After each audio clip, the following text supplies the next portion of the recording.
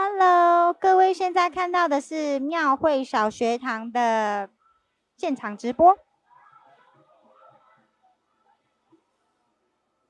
庙会小学堂的直击淡水大拜拜。我们今天呢的主题主要在淡水南北轩。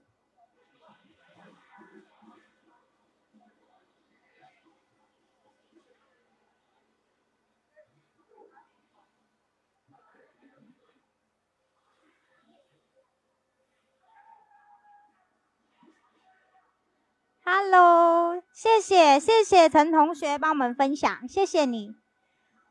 Hello，各位小学堂的同学，大家好！你现在收看的是淡水大拜拜的淡水南北轩直击。淡水南北轩是一个百年的轩社，在淡水这边是一个老字号轩社。那今天我们呢，带大家来逛一逛它的整个队伍。好。Hello，先要带大家来逛逛淡水南北轩，它整个队伍的编制。呃，刚才听陈红学长跟我们说，今天大概动员了两百多个人来支援这场绕境。那主要呢都是附近的大专院校，呃，淡江大学，然后跟台北艺术大学，很多学生都来支援。那小编其实蛮感动的，因为我自己也是北艺大毕业，然后看到就是现在。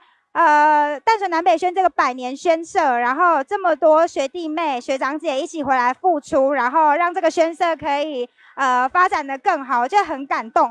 那我们就来看看，他是真的有两百人。我们来把淡水南北轩从头到尾的编制看一下。首先呢，是我们的旗子，旗子，这是队伍的一开始。大家挥挥手，我们在直播。你们是什么学校的学生？淡江大学。淡江大学，你第一次来参加这个民俗活动吗？对。那有没有觉得很热还是很累？还好。感觉很新鲜吗？有，很酷。怎么会想来？老师叫你来你就来了。就感觉就是 在淡水读四年，但没有就是走过这样。嗯，所以因为在淡水这边读书，然后想看看在参与这个民俗绕境，在地的民俗绕，对对？嗯。哦，这位同学很棒，因为他读淡江大学，然后在这边四年，他就想说来参加这个在地的民俗绕境。我觉得这份心真的很棒，就是年轻人可以多多关注，就即使你不是这边的在地人，但是你在这边读书嘛，然后就是也是为这边的绕境啊神明奉献一份心力，真的是很棒。好，那我们往后走，来来来，接下来呢是刚才那个陈红学长有跟我们介绍的这个我们的大旗，这个旗上面有写了百年宣社，就是在那个呃一百零六年的时候，刚好是我们淡水南北宣它满一百周年，就有。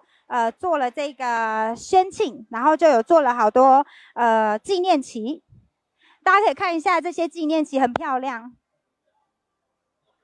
上面都有绣了就是一百周年的字样。那今天就是淡水南北轩也都把它推出来，跟大家亮亮相、见见面这样。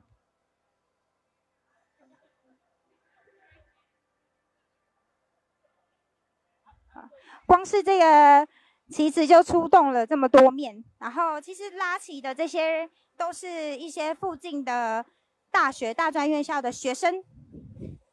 好，接下来大家看到的就是呢，等一下哦，哎，中间中间被插队了，好。接下来呢，前面看到的就是我们的骡车还有鼓车，因为等一下呢，我们就要表演了，所以现在呢，所有的乐手在做暖身，直接在淡水捷运站前面暖身，真的是太强了。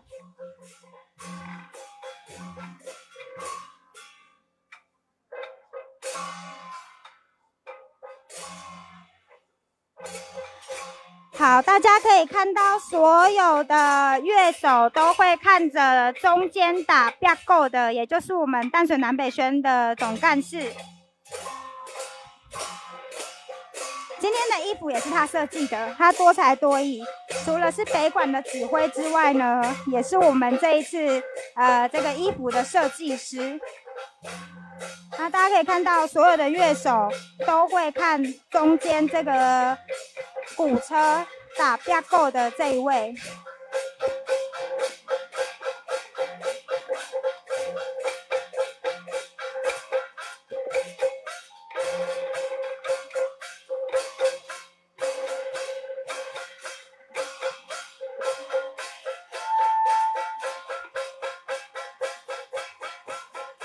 我们直接在淡水捷运站前面做暖身，因为等下就要表演了。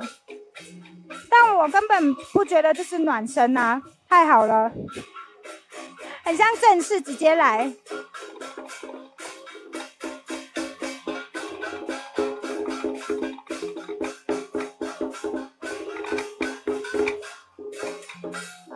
所以前面是金属的打击乐，后面呢是我们的唢呐。那所有的打击乐手跟唢呐吹手都要看中间的标构。李秀也要注意，呃，标构他的呃指挥，所以通常标构会安排在队伍的中间，就是让大家都看得到的地方。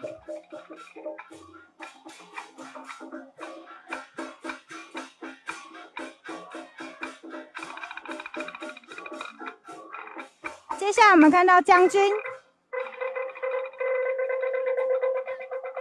将军有我们的。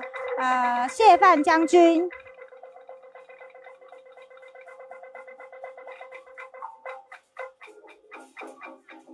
然后旁边呢拿这个灯跟火炬的也都是我们的大学生，还有我们的附近的淡江大学跟北医大的学生一起来参与这场民俗绕境。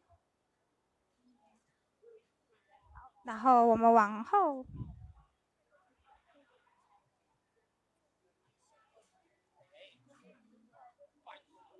到文判文武判官在这里，然后呢，我们的西秦王爷轿子，轿子很漂亮。那后面呢，有也有我们的这个历史悠久的这个旗子摆在最后压阵。这是今天主要的队伍的编制，所以淡水南北宣这一次出动了超过两百人，主要呢就是想要在淡水大拜拜的时候呢，一起这样呃让在地的这个宣色，然后让更多年轻人来参与，借由淡水大拜拜这一个传统，然后让宣社。借借由宣社的这一个组织，那让更多的年轻人加入，然后进而让年轻人注意到在地的文化传统，还有民俗活动。小编觉得这是很感动的一件事情。好，那等一下呢，我们会再度直播跟大家介绍我们的淡水大拜拜。今天主要是暗访，所以我们会请到简有庆老师来跟大家介绍一下淡水大拜拜的暗访。它主要，它主要是，呃。好，他是士林士林神龙宫的总干事简有庆老师来跟大家介绍整个淡水大拜拜。他除了是士林神龙宫的总干事之外呢，他还是呃我们关渡妈的研究者，那也是呃观察这个淡水大拜拜的整个仪式啊非常久的时间。那小编呢会请他。简老师来跟大家介绍一下关于淡水大拜拜今天暗访有什么好看好玩的特色呢？还有整个呃清水祖师他的小故事跟大家分享分享。那等一下再见喽。